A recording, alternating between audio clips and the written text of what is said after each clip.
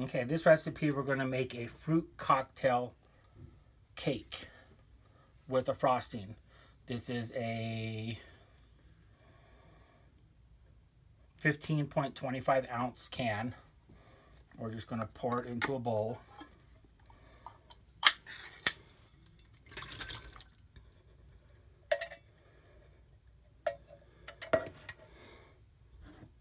Three quarters cup of sugar. One cup of flour, one egg, a fourth a teaspoon of salt,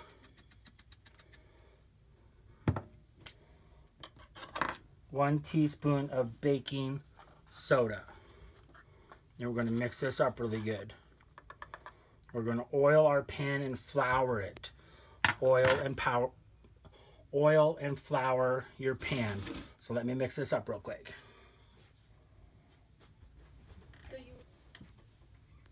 Okay, now that we oiled and floured our pan and we got everything mixed up, we're just going to pour this in here. Do not double this recipe.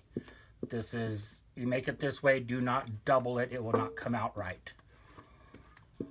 So we preheated our oven to 350 degrees and we're going to cook this for 25 minutes or until it's done. Check it with a toothpick.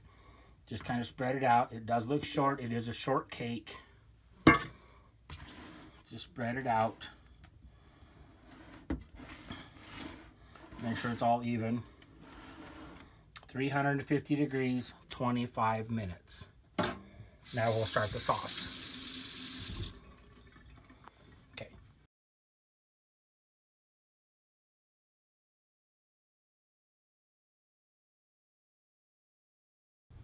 Okay, for the topping, we're going to melt one stick of butter. We're going to put in one egg, one cup of sugar, half of cup of canned milk. We're going to cook this real slowly. Break up your egg. Mix it up. Now we're just going to slowly cook this until it almost comes to a boil and then we're done.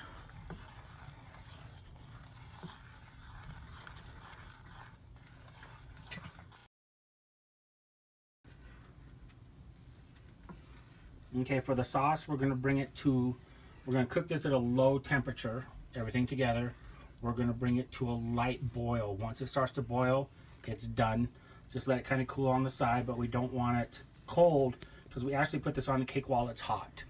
See how it's starting to foam up? If you can see that, that means it's almost done. Actually, it looks like it is done.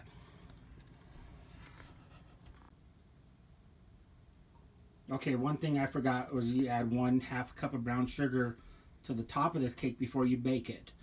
After it's done baking, you check it with a toothpick. Make sure it's clean, pull it out. You only got to let it cool for just a few minutes.